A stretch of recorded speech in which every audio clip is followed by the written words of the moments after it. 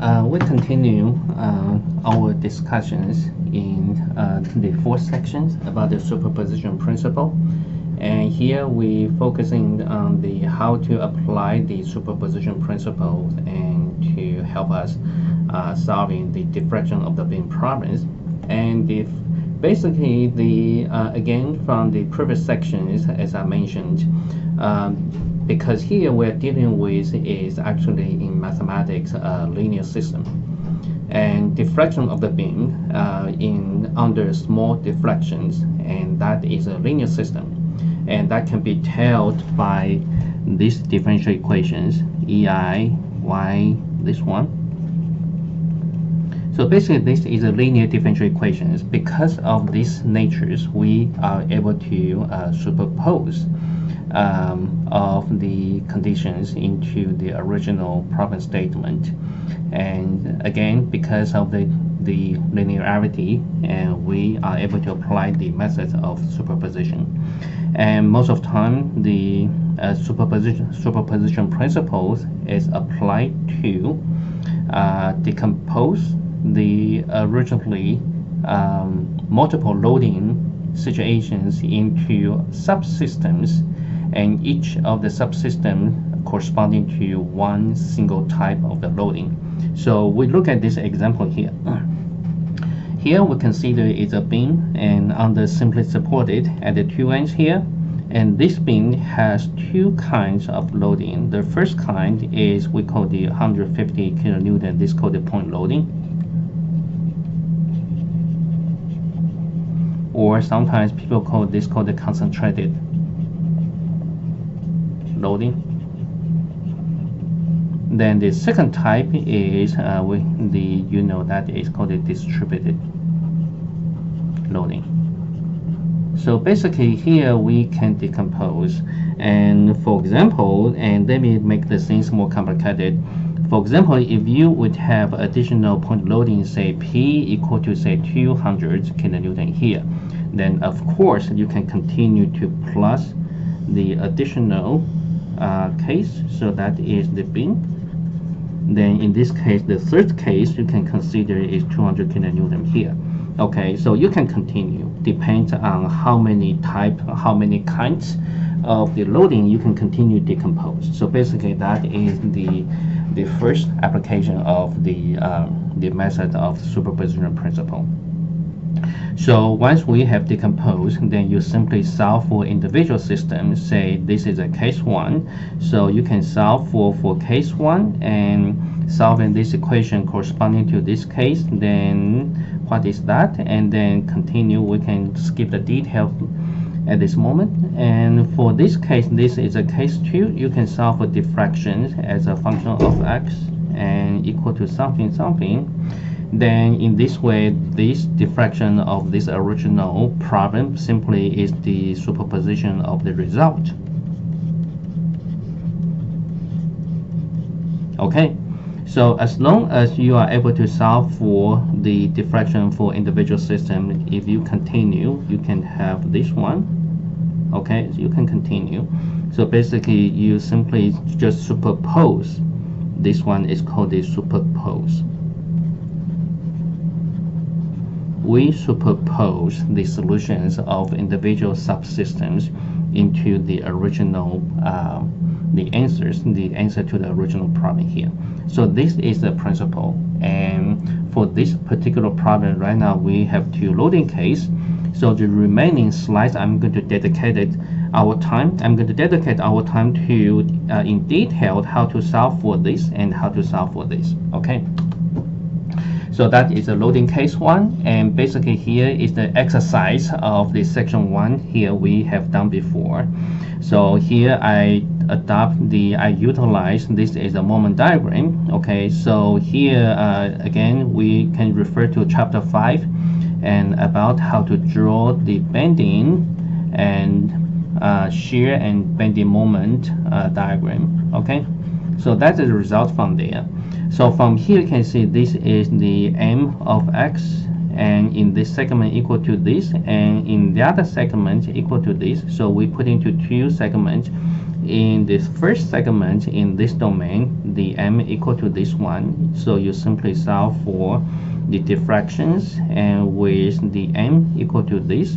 Okay so you integrate uh, twice and you come up with the integration constant so the integration constant can be solved for by using the the boundary conditions for in this domain. The boundary condition the first one is at point A. So at point A we know the deflection equal to zero okay? And we need one more. The other one is probably we can utilize is the deflection at here. Okay deflection at here and that means deflection at uh, L over 4 so here we kind of stuck there but let me leave it. Okay let me leave it. And again here I have utilized the notations. I simply use the subscript 1 okay this subscript 1 to indicate this is the segment here we're dealing with. Let me call that segment, segment 1 okay now we move to the uh, second segment. So this is the uh, corresponding is the second segment. I use this notation here. Okay so in the second segment, the same thing, and here we have the M of x obtained by this. You simply solve for the deflection equations and integrate twice, and you come up with the integration constant. The two integration constant, and again, we need boundary conditions. In again, in this segment, the we try to adopt the legitimate uh, the the legitimate boundary conditions. The first one is the deflection at b equal to zero. 0. So that is at point B, okay, deflection equal to 0. Then we come up with the, uh, the, the middle point here. At the middle point there, and we know the deflection is this.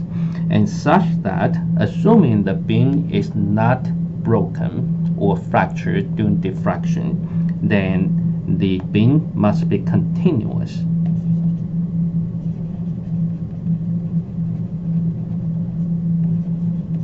at point D. Okay, so beam must be continuous, so such that the deflections from the first segment and second segment they are common at D here. The deflection must be the same as well as their slope must be the same okay so under this case you have the one two three and four boundary conditions then you are able to solve for c1 c2 c3 and c4 okay so solving this one will take a little bit time but that is the answer here so you have C1, C2, C3, C4. Then basically here you have the total complete information about the deflection, which means by the two equation here. Keep this in mind. So that is for loading case one. Then we come to the loading case two. So loading case two is the distributed loading. So from here we start with these equations and that'll be easier. Okay, so here we integrate four times. So for this case, we have the 1, 2, 3, 4, uh, C1, C2, C3, C4 integration constants, and then we need the four boundary conditions, and that being listed here. And one is deflections, okay, zero, and also at point at end the A and B, there's a free end. So that means we uh, at the free end, the moment equal to zero here. Okay, so Again, this is the exercise from the previous sections. If needed, you can rewind and go back to watch the videos from section 2, I believe. Okay, from section 2. And so you can get more information there. So with the four boundary conditions, and then here you spend a little bit time, about 5 to 10 minutes, and you get this description here. Okay or equivalently you simply divide the EI to the right hand side and you get this one. So this for the loading case 2. So now we come to superpose the individual system here. So now for this case, you can see I try to distinguish and in the way is this. And for the for this subsystem this is the result we obtained from the uh, the, the two slides before and this is the result summarized from the previous slides okay? So basically with those information you have complete descriptions about the deflection of the spin okay and now for example if we want to find out what is the maximum deflection okay so how to find it? And again because for this particular uh, loading case we need to describe the deflection separately in two separate sections. So here for example to find out the maximum then we can try to uh, look into the the information uh, segment from segment. So we first look at what happened in this segment here. Okay, so assuming the maximum occurred there, then we know the maximum occurred is the where the slope equal to zero. So we look at in this segment whether these conditions will be satisfied or not.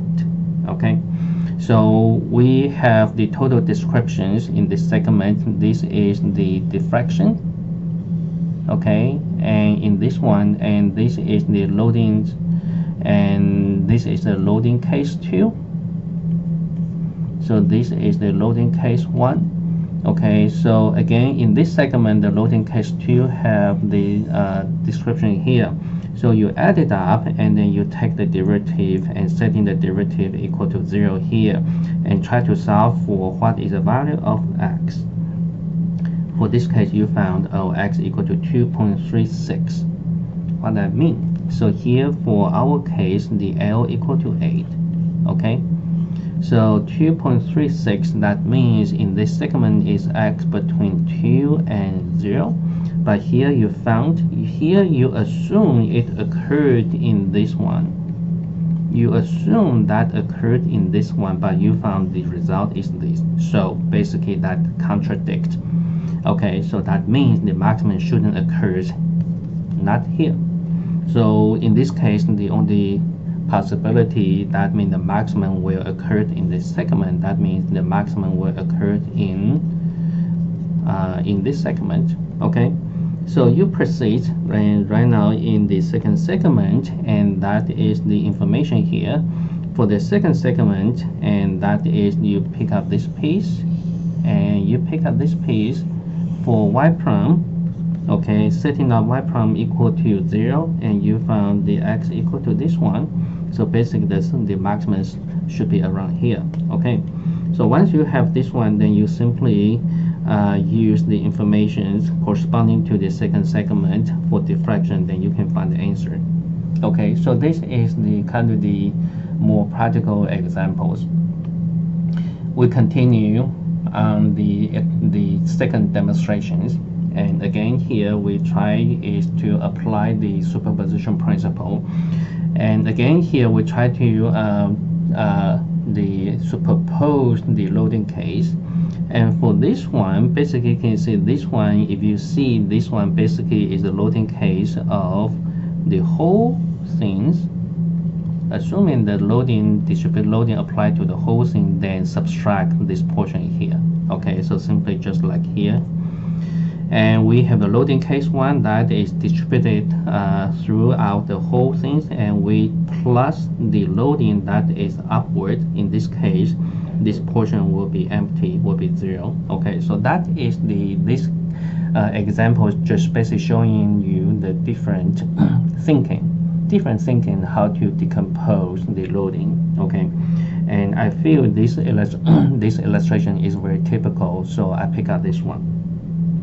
So now remaining again and let me call this is the y the loading case one. So that the deflection and corresponding result is this one. So the result for this case should be equal to y1 x plus y2 x okay so now the remaining slides, we dedicate our time to individual loading case, and we see.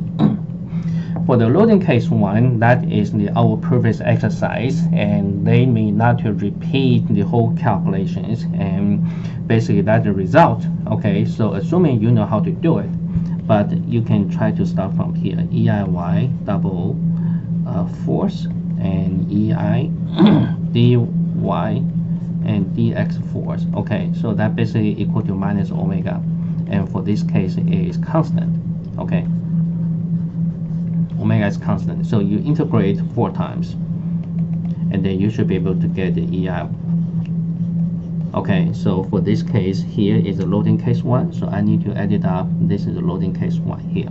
Okay on the other side and uh, you can also check out from our appendix D uh, in the textbook. And appendix D and that is the loading case and that is the scenario 2 from here you can verify with your calculation basically deflection maximum deflection the magnitude equal to this and this minus sign simply means it's downward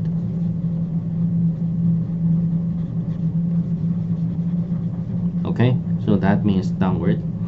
And the magnitude of the slope equal to this and here has the minus sign. The minus sign simply is meaning this one. Okay so this is the slope.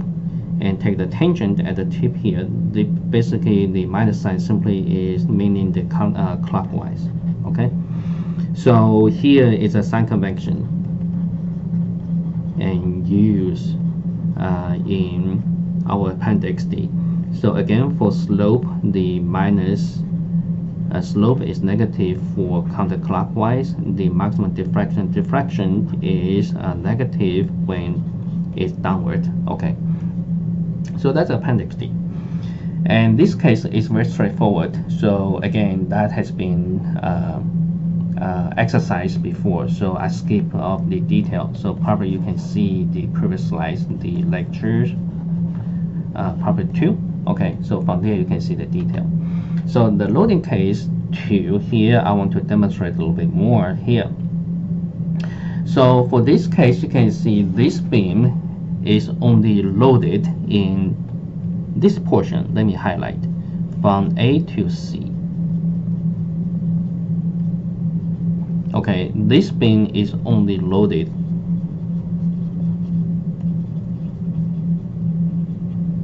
in AC.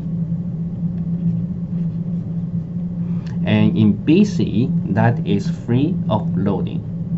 Free of loading, what that means, the beam, if beam is free of loading, you think about what is this situations.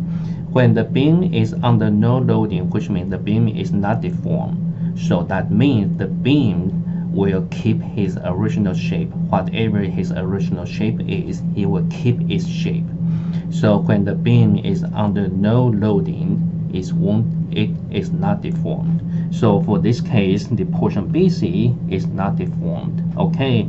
So in beam segment BC, because it's not deformed, is um, his original shape is a straight line, so it will keep as a straight line okay keep this in mind. So this is a very interesting observation and that is the main purpose I pick up these illustrations because that is kind of funny the the uh, the characteristic. I but this one will allow you to um, um, to solve for the similar problems because that's a kind of new things so I adopt this one. Okay so now we uh, in this case we see our goal is to determine the deflection at B.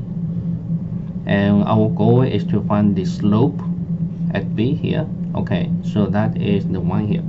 So how to determine this one? Basically you can see this one can be determined by this. And only AC is deflected so let me dig out this portion here. So let me say this one is called the Y2 and at point C, so this is a point C, okay? And how to use this one? Let me use the symbols uh, consistent with our uh, textbook. So this is deflection at point C, okay? This is for loading case 2, okay? And then also at C here, I take the tangent and the tangent has the slope and this slope and let me use is this the slope is using the symbol theta at point C that corresponding to the loading case 2 okay that is a symbol here. So basically here you can see um, because this is line is tangent so that means the tangent will be continuous so the slope at point B will be equal to this one can you see so because the BC keep as a straight line, the straight line because BC is not deformed, so not deformed portion and will keep his original shape, which for this case is straight line. So that means at C and B, the slope must be the same. Okay, so that is the first one. The second one, and the relations between the two quantity is this. Let me uh, eliminate something to get more uh, illustrations okay? So from here you can see let me highlight here. So let me draw a parallel line and horizontally.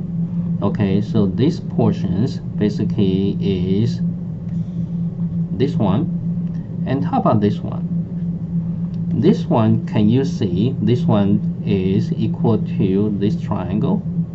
This is a triangle. Okay let me highlight here. That is the triangle here.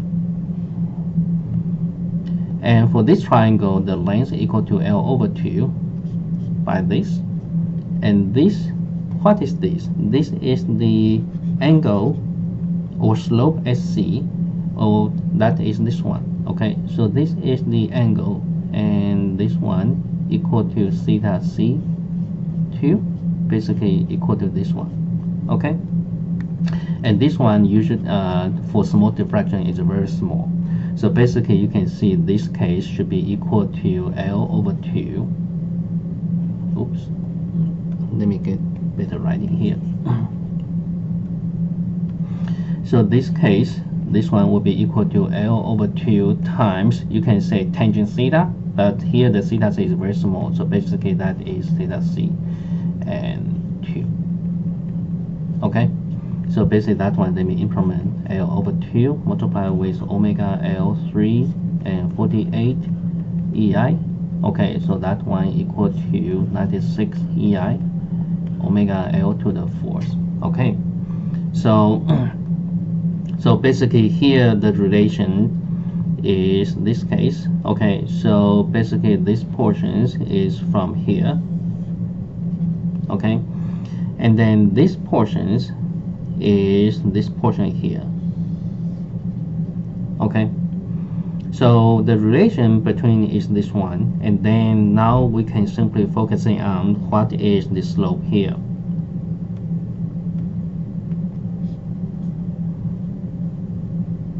can answer our questions here. So at point C, that is a slope, and then let me find out the remaining is uh, basically, okay, so basically here the remaining is we find out what is the YC, what is this term, and what is this term.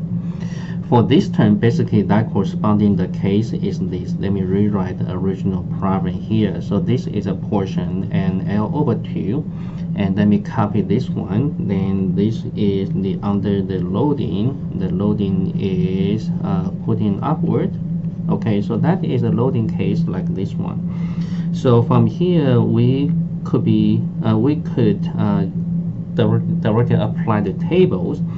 From the table equation is such that if the beam has a length L then the patterns of the deflection is W times length of the beam to the fourth power divided by AEI. So we adopt this one. So here, let me uh, get more drawing. So deflection, let me use the different color. How about that? So this is the deflection here. Okay. So deflections, again, we adopt these patterns. Omega times L is the, the length of the beam so the length of beam for this case is L over 2. I simply adopt this pattern here.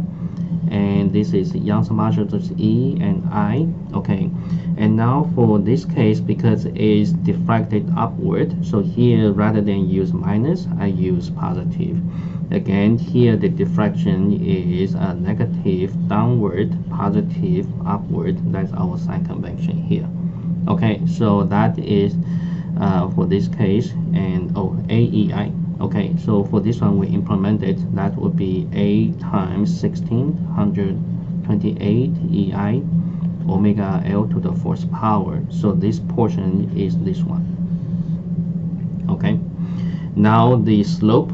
So now for this case we look for the slope here. So we'll look for the slope here okay so the slope again we adopt this pattern here. The magnitude equal to omega times the length to the cube the three the third power. So length is L over 2 okay? And then divide by 6 EI and again right now this slope is the counterclockwise. So here the slope our sign convention is negative uh, clockwise positive counterclockwise so here we take the positive. So implementation of this one is 6 times 8 48 ei and omega l to the cube. So that is the number here. Okay? So once you have this one, then basically that two formulations accordingly be calculated for this case. Okay, so once you have done, then we superpose the whole things together. So here is the summarize from previous case. We have individually solved for the deflection and slope at the tip here, and we simply take them um, summing up together, then that will be the slope and the deflection of the original uh, the given problem statement here okay so again this problem and uh, in particular for the loading case too that kind of involve a little bit more kind of the uh, detailed uh, calculation steps. And again if needed uh, you can rewind and see this one okay